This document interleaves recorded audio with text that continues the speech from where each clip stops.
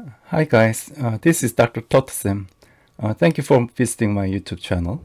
Uh, today I would like to talk about the SOEC, Solid Oxide Electrolysis Cell Market Overview and their dominant project. Uh, if you are not familiar with the SOEC technology, please watch my previous video. Uh, SOEC is a technology that uses the reverse reaction of solid oxide fuel cell, SOFC, to produce eco-friendly green hydrogen. I think SOEC technology will be one of the most efficient methods to produce green hydrogen. I hope you get some information about the market player. So let's get started. Uh, SOEC not only produces pure hydrogen, uh, but can also be used as a tool that converts CO2 into CO. Uh, here is a CO2 and here is a CO. Uh, this is called co-electrolysis, uh, which decompose water and carbon dioxide simultaneously. Uh, hydrogen and carbon monoxide here uh, can be obtained by electrolyzing water and uh, carbon dioxide using electricity generated from the renewable energy such as the sunlight and wind power. Transport fuels and chemicals such as uh, methanol and jet fuels can be obtained by using them. Uh, this picture shows how we can uh, adapt uh, co-electrolysis to obtain transport fuels and chemicals. Looking at looking at the principle that uh, CO2 is uh, decomposed into CO, here uh, CO2 uh, is composed into CO uh, in SOEC through an experimental paper here. hydrogen and carbon dioxide are supplied to cathode. hydrogen and carbon dioxide is supplied to uh, cathode. Here is cathode and here is uh, anode. This is electrolyte. When air is uh, supplied with the two, uh, sweep gas to anode, uh, a DC power is applied. Here is plus and here is minus minus. and this power is applied, steam and carbon monoxide are generated by a reverse water gas shift reaction like this. Hydrogen and carbon dioxide converts to steam and uh, carbon monoxide. Uh, steam is again electrolyzed into hydrogen and oxygen. And finally, we obtain hydrogen and carbon monoxide from the cathode. Here, uh, hydrogen and carbon uh, monoxide. And oxygen-rich air from the anode. Oxygen-rich air.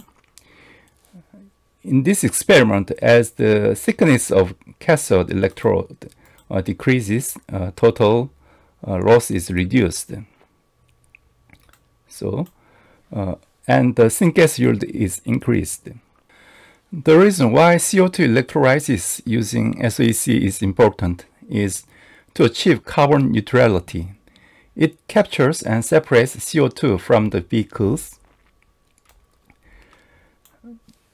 and use as it as fuel for electrolysis and use uh, renewable energy source such as solar and wind power for electrolysis. When CO and H2 uh, which are called syngas uh, as obtained are obtained and synthesized into organic materials uh, that are used as fuels so uh, they can uh, ultimately be recycled and without additional emission of carbon dioxide uh, resulting in carbon neutrality.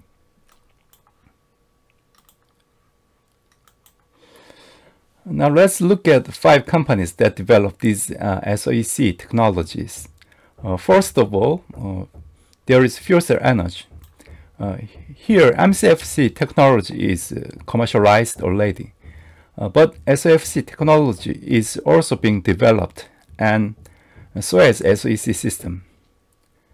It operates at a pressure of 8.6 bar and consists of four stacks of 46 cells to form a stack of 150 cells, uh, targeting the production of uh, 4 kilogram hydrogen per day. Uh, the figure shows the system prototype and claims that the system electrical efficiency reaches almost 90% and total efficiency of 78% according to their DOE project presentation last year. Uh, from the data of FuelCell Energy, uh, if you look at the result of a uh, cost analysis when producing 1 gigawatt uh, stack as SOFC or SOEC, 58% uh, of stack cost is made up of material. Uh, the cost per kilowatt is 126 dollar per kilowatt for SOFC and 25 dollar per kilowatt for SOEC. Uh, so SOEC systems seem to be uh, cost effective. Next, looking at Oxeon Energy. Uh, syngas and oxygen are produced by co-electrolysis of carbon captured CO2 uh, using SOEC technology. Uh, this picture is a, a SOEC planar stack and companies uh, working on a project to convert uh, CO2 of Mars atmosphere into oxygen. Uh, the company supplied a 12.5 kilowatt SOEC test facility to Idaho National Lab in the United States and showed 500 hours of operation.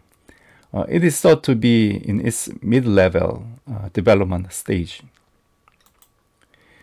Uh, as another project, companies participating in NASA's manned mission to Mars project research on converting the Mars atmosphere into oxygen.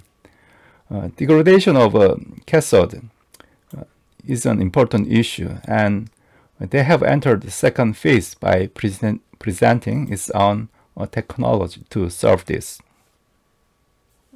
The next is Denmark's Topsoe and it is considered to be quite advanced in SOEC technology.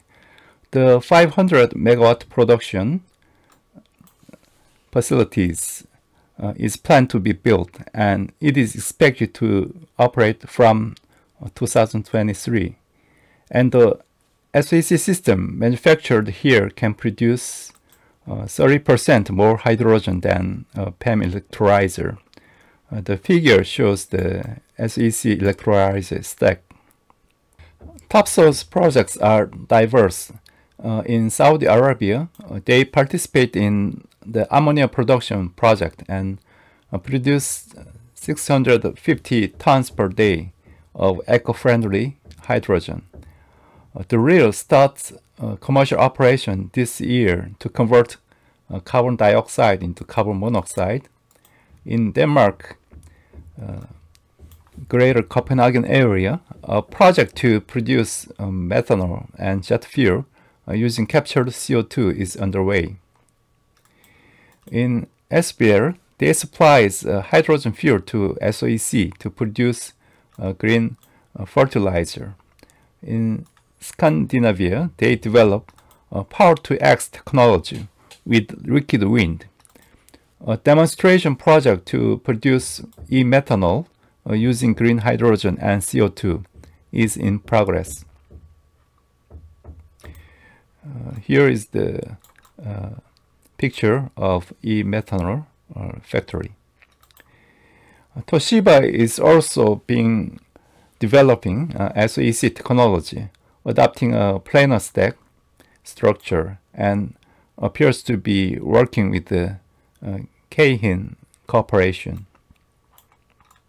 Uh, Sunfire is also commercializing a process of uh, SOEC technology and has reached 84% uh, of electrical efficiency. Uh, it is also argued that producing syngas from CO2 and water in a single process step has advantages than conventional uh, two-step syngas production method. This is more cost-effective than the existing two-step process using a reverse water gas shift reaction and this can be uh, their competence. As a Sunfire's representative project, uh, Norsk e-Fuel is a project that uh, produced uh, jet fuel using 100% renewable Norwegian electricity using CO2 and water as fuel. As a power-to-liquid technology, it aims to produce uh, 10 million liters of uh, uh, jet fuels per year. It is a key technology that utilizes the uh, carbon cycle by supplying CO2 using uh, Climeworks direct air carbon capture technology. Lastly, Sunfires are working on a project to produce uh, 200 uh, normal uh, cubic meter per hour of hydrogen uh, by participating in Green Industry Hydrogen 2.0 project. Prototype is installed in Salzgitter steel making operation and use steam from waste heat. By the end of next year, it plans to produce uh, 10 tons, 100 tons of hydrogen with 84% uh, of electrical uh, efficiency and is expected to evaluate the durability of the system for an operating time of about uh, 13,000 hours. Uh, how did you guys watching my video today? Uh, today, I, we looked at the attempts to achieve carbon neutrality with the SOEC co-electrolysis technology. Uh, here, I looked at uh, five companies that are active and uh, their projects they are participating in. Uh, SOEC technology is still in a process of improving their performance and durability. And it seems that the, for full-scale mass production and industrialization, it takes time. I hope today's uh, content will be helpful to you. And next time, I will meet you with a better contents on various topics related to uh, hydrogen economy. Uh, if you like uh, today's content, please uh, subscribe and thumbs up. And if you leave any questions or comments in my channel, I will give a feedback to you. I hope you enjoy this weekend and see you soon. good day.